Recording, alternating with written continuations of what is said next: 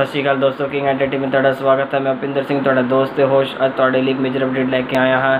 ਇਹ ਅਪਡੇਟ ਹੈ ਕਿ ਬਾਦਸ਼ਾਹ ਆਪਣਾ ਬਾਲੀਵੁੱਡ ਵਿੱਚ ਡੈਬਿਊ ਕਰਨ ਜਾ ਰਹੇ ਹਨ ਅਤੇ ਉਸ ਫਿਲਮ ਉਹ ਕਾਫੀ ਟਾਈਮ ਤੋਂ ਸ਼ੂਟ ਵਿੱਚ ਬਿਜ਼ੀ ਸੀ ਵਰੁਣ ਸ਼ਰਮਾ ਜੀ ਅਤੇ ਸੋਨਾਕਸ਼ੀ ਸਿਨਹਾ ਜੀ ਨਾਲ।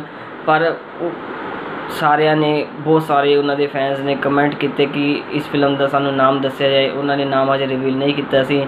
ਪਰ ਪਿੱਛੇ ਹੁਣ ਕੱਲ ਹੀ ਹਜੇ, ਸੋਨਾਕਸ਼ੀ ਸਿਨਹਾ ਨੇ ਆਪਣੇ ਸੋਸ਼ਲ ਅਕਾਊਂਟ ਤੇ ਫਿਲਮ ਦਾ ਨਾਮ ਰਿਵੀਲ ਕਰ ਦਿੱਤਾ ਹੈ। ਫਿਲਮ ਦਾ ਨਾਮ ਹੈ ਖਾਨਦਾਨੀ ਸ਼ਫਾਖਾਨਾ ਅਤੇ ਇਹਦੇ ਵਿੱਚ ਮੁੱਖ ਤੌਰ ਤੇ ਸੋਨਾਕਸ਼ੀ ਸਿਨਹਾ ਜੀ, ਵਰੁਣ ਸ਼ਰਮਾ ਜੀ ਅਤੇ ਬਾਦਸ਼ਾਹ ਦੀ ਮੁੱਖ ਤੌਰ ਤੇ ਰੋਲ ਨਿਭਾ ਰਹੇ ਹਨ ਅਤੇ ਇਸ ਨੂੰ ਡਾਇਰੈਕਟ ਕੀਤਾ ਹੈ ਸ਼ਿਲਪੀ ਦਾਸ ਗੁਪਤਾ ਜੀ ਨੇ ਅਤੇ ਇਹ ਟੀ ਸੀਰੀਜ਼ ਦੇ ਅੰਡਰ ਬੈਨਰ ਅੰਡਰ 26 ਜੁਲਾਈ ਨੂੰ ਰਿਲੀਜ਼ ਹੋਣ ਜਾ ਰਹੀ ਹੈ।